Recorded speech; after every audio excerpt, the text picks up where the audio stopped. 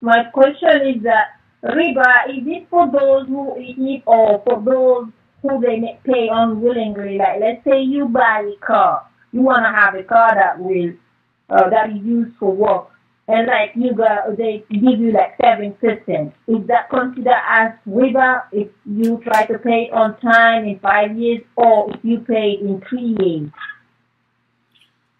So what is the contract again? What does the contract say? Is is it seven percent? You agree to pay seven percent when? seven percent whereby everything was was on paper, then you sign on that for five years. Are you required to pay for the five years or you can pay it less as less as three years for you not to pay the seven percent?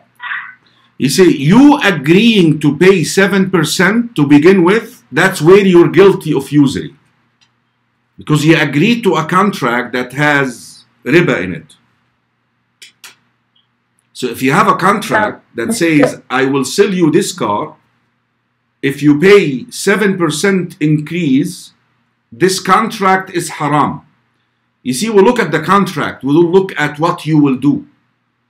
You're guilty already of usury. You shouldn't be getting involved in a contract like this. Jazakallah khairan.